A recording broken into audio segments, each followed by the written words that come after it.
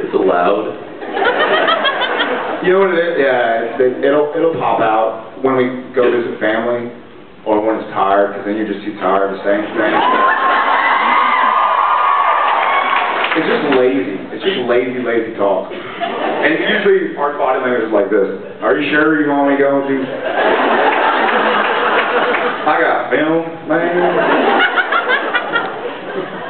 Hey man, they got they're, they're flipping the lens on the scene. I'm gonna go back in the crowd. How long will it take you ready? Shoot, I don't know. You ready? Five, ten. Um, Will it be done? It'll be done in New York.